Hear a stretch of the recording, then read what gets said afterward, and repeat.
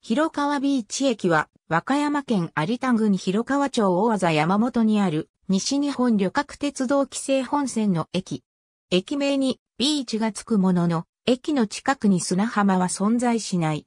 広川町にある唯一の駅であるが、広川町の中心部は湯浅駅が近い。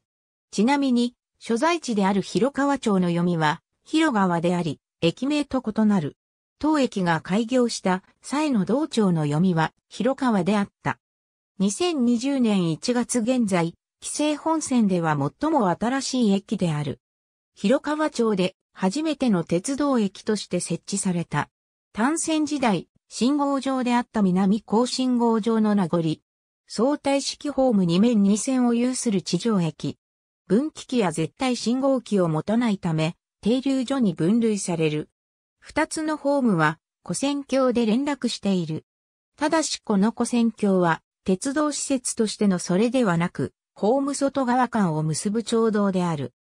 古線橋付近に自動券売機が設置されている。駅舎はないが、駅の脇に観光物産センター、触れ合い館がある。ごぼう駅管理の無人駅である。近年の1日平均乗車人員は以下の通り。規制本線自体の利用者が減少傾向にある中で例外があるものの当駅の利用者数はわずかながら増加傾向にある。広川町の中心部から 2km ほど、海岸線は駅から 1km ほど離れている。ありがとうございます。